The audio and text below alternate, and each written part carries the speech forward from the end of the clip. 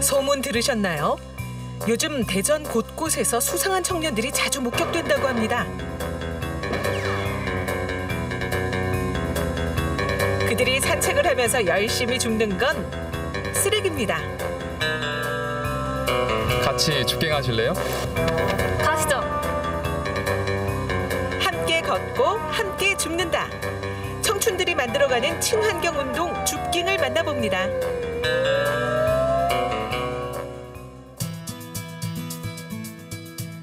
대전의 한 주택가. 이곳에 청년들에게 활짝 열려 있는 복합 활동 공간이 있습니다.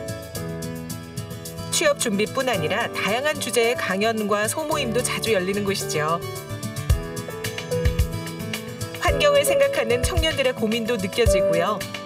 오늘은 어떤 활동을 준비하고 있을까요? 지난번 대청호 슈팅 때는 생각보다 쓰레기가 진짜 많이 나와갖고 대청호를 따라서 강에서 흘러나온 쓰레기가 진짜 많다고 하시더라고요. 그래서 이게 주기적으로 필요한 활동이구나 하는 게 좀 많이 생각이 되더라고요. 어, 줍깅은 줍다와 조깅이 합성된 이제 신조어고요.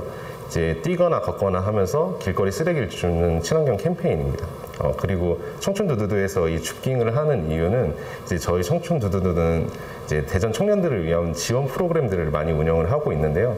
현재 너무 온라인으로만 저희가 지원을 하다 보니까 청년들이 너무 답답해 하셨어요. 그래서 이제 오프라인으로 모여서 할 수 있는 활동이 안전한 활동이 뭐가 있을까 찾다가 이제 외부에서 이제 쓰레기를 같이 주스면서 할 수 있는 이런 캠페인이 제일 좋은 것 같아서 줍깅을 선택하게 됐습니다.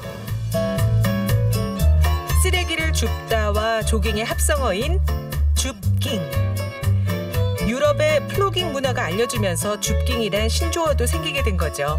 건강과 환경을 함께 챙길 수 있는 친환경 운동. 줍깅에 동참하는 사람들도 꽤 많고요. SNS 인증샷도 쉽게 찾아볼 수 있습니다.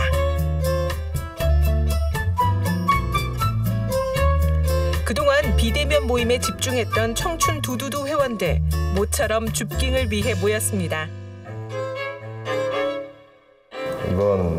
줍깅 활동은 어떻게 했으면 좋겠나요? 주변에 어떤 쓰레기 문제가 있는지 그런 걸 스스로 좀 생각해보면서 집갱 활동을 해봤으면 좋겠습니다. 아, 오랜만에 겹천 축갱하면서 산책도 하면서 막 피어있는 꽃들도 보고 그러면 되게 좋을 것 같아요. 오늘의 줍깅 장소는 갑천. 장마철을 앞두고 하천에 쓰레기를 줍기로 했습니다. 네, 오늘 줍깅 준비물은 가장 중요한 쓰레기 봉투랑 저희가 이제 옷이 드- 지저분해지지 않게 이제 조끼도 챙겼고요. 그다음에 이제 특수 폐기물을 처리할 수 있는 마대자루랑 이제 코팅 장갑 그리고 집게 이렇게 챙겼습니다.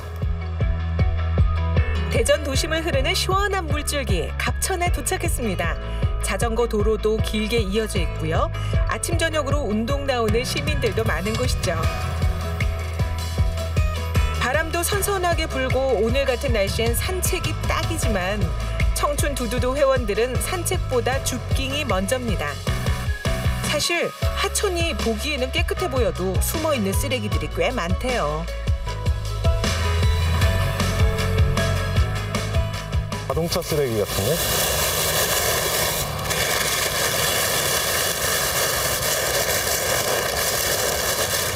지금 이런 쓰레기는 누가 투기를 한것 같은데. 어, 이런 쓰레기는 보통 자동차에서 한 번에 모여서 뭐 이렇게 버리고 그냥 가시거나 밤에 보통 많이 이렇게 버리고 가시는 것 같더라고요. 그래서 이렇게 버리고 가면 안 될 텐데. 산책 나와서 지나가다 네, 맞아요. 그런 것 같습니다.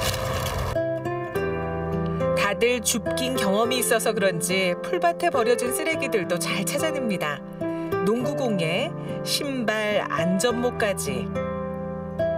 하천의 생활 폐기물은 아, 예상 밖인데요.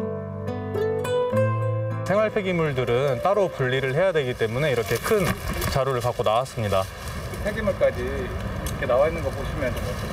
네, 좀 안타까운 게 있어요. 잘 이렇게 좀 정리해서 따로 버려줬으면 좋겠는데 이렇게 아무 때나 투기를 하면은 이렇게 운동하시는 분도 많이 좀 이렇게 불편해하시지 않을까 그런 생각도 들고 있- 들고 있어요. 생활 폐기물까지 줍고 나니 이제야 화사하게 핀 여름꽃이 눈에 들어옵니다. 깨끗해진 길을 걸으며 바람에 땀을 식히는 기분 얼마나 상쾌할까요? 빙의 매력은 뭐라고 생각을 하세요? 어, 밖에 나와서 이렇게 걷기도 하고 쓰레기도 주우니까 일석이조인 것 같아요. 또더 환경에 대해 같이 생각해 볼 수 있는 계기가 되는 것 같아요.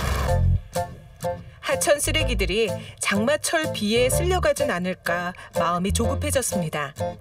갑천이 조금 더 깨끗해지길 바라는 마음에 담배꽁초 하나도 지나치는 법이 없습니다. 활동하면서 이런 쓰레기까지 주워봤다. 어떤 게 있나요? 어, 매립된 쓰레기들 중에 저보다 더 오래된 제가 88년생인데 저보다 더 오래된 소주병도 있었고 막 옛날 농약병 그다음 폐 타이어 막 이런 것들도 진짜 많이 봤었어요.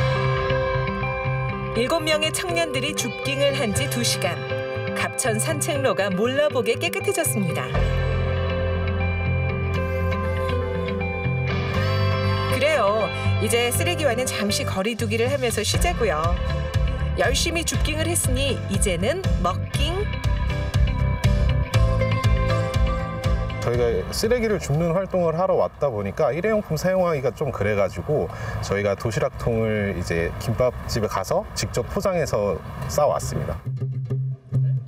깨끗해진 갑천에서 꿀맛 같은 점심을 마치고 달려온 곳은 또 다른 줍깅 장소 대전 보라매 공원입니다.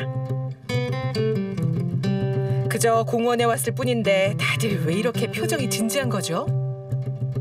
보라매 공원으로 줍깅으로 오신 이유가 있나요? 어, 보라매 공원은 대전 시민들이 가장 많이 찾는 공원이기도 하고요. 이제 대전 청년들이 호국 고운의 달을 기념하는 시간을 갖기 위해서 보라매 공원으로 왔습니다. 알고 계셨나요? 대전 보라매 공원은 한국 전쟁의 아픔과 상처를 기억하고 있는 곳입니다. 공원 한편에선 안타까운 역사를 증명해주는 특별한 추모비도 만날 수 있습니다.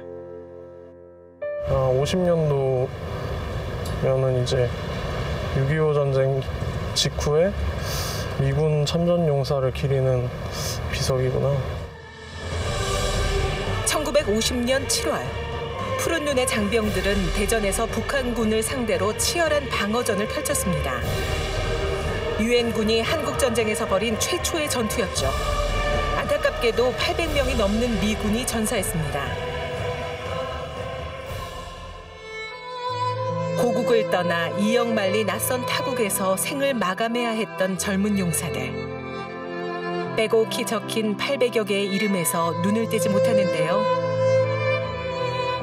한국전쟁 71주년을 앞두고 마주한 전쟁의 상처입니다.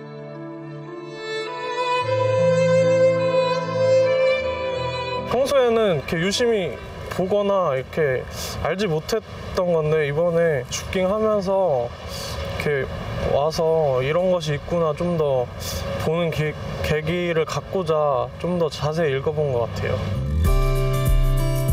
도심 한가운데서 만나는 한국 전쟁의 역사. 함께 추모의 시간을 나누고 다시 줍깅을 이어갑니다. 편안한 쉼터이자 상징적인 역사 문화 공간인 보라매 공원. 대전 청년들의 손길로 조금 더 깨끗해진 것 같죠? 호국 보훈의 달 6월 모쪼록 시민들의 따뜻한 추모의 걸음이 이어지길 바랍니다. 많은 대전 청년들이 코로나 때문에 많이 힘들어하고 이제 갈수록 고립이 되어 가고 있는데 이렇게 밖에 나와서 같이 줍깅을 같이 하면서 쓰레기도 같이 줍고 힐링할 수 있는 시간을 같이 가졌으면 좋겠습니다. 줍깅 같이 할 사람! 청춘 두두두 코로나19로 지친 몸과 마음을 건강하고 의미 있게 회복하는 청년들이 있습니다. 함께 걸으며 환경을 보호하는 청춘들. 그들이 지켜가는 줍깅 문화가 더 멀리 퍼져나가길 응원합니다. 여러분도 줍깅 하실래요?